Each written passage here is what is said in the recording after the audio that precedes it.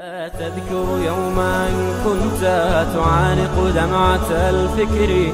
تناجي الله في صبر وترجو رحمة تسري.